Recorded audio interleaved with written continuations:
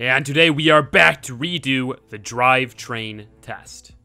What is better, front wheel drive, rear wheel drive, or all wheel drive? Now, I'll be the first to admit that the last test that I did on this was less than good. Uh, yeah, about that. But hey, uh, shout out to Car Throttle for sharing that video, you know? First of all, we have three different cars, which are all in their native drivetrain. Now, I found that taking a car out of its native drivetrain can sometimes cause balance issues. It just doesn't feel quite right. So that's why I kept the cars in the native drivetrain. We have a Ford Focus ST, a Toyota GT86, and a Subaru WRX STI. Now, all three of the cars are in the top of B class, B600. All three of the cars have around 300 horsepower and weigh less than 3,000 pounds. Obviously, front wheel drive and rear wheel drive a little bit lighter than all wheel drive. All the cars also have race brakes and race suspension, along with front and rear anti roll bars. All three of the cars also have sports tire compound and a stage 1 drivetrain.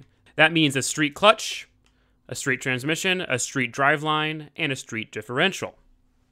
Now, since we are using three different cars, I tried to make this competition as fair as possible by making sure all the cars were very, very even, around the same horsepower, around the same weight, handling, all that, same upgrades. Every car runs roughly a 13 second quarter mile. But I will stop going on. Let's go ahead put these cars to the test on Mazda Laguna Seca and see what happens.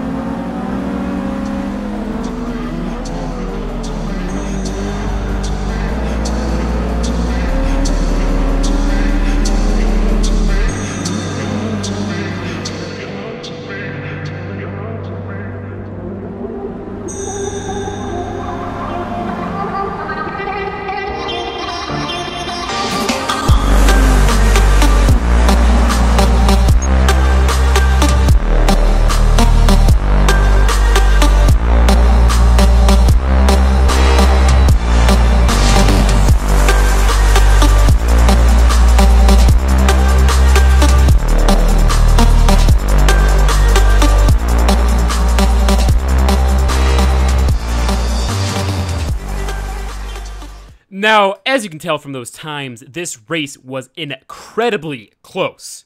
All wheel drive and front wheel drive finished within 0.002 of a second within each other, and rear wheel drive, which was 0.02 of a second faster than all wheel drive. It was, it's, it's incredible, really. Three completely different cars with completely different drivetrains, same upgrades, good tunes, and they're all fast. Now I'm going to be that guy and call this a tie. I know I'm sorry, you came here for an answer, but you're not going to get one. Well, actually, yeah, you are. Here's your answer. Front wheel drive, rear wheel drive, and all wheel drive are all really great drivetrains. Obviously, they're each better at some things than the other. Front wheel drive definitely can't drift, that's for sure. But the bottom line is that if a car is built right and tuned right and driven right, it can be fast. Whether it's front wheel drive, rear wheel drive, or all wheel drive. I'd like to thank you guys so much for taking your time to watch this video, and have a fantastic day. Go ahead and leave your hate in the comments below. Or you could actually be nice for once and appreciate the video. You know, this is not an easy thing to put together, boys. Thank you. Bye-bye.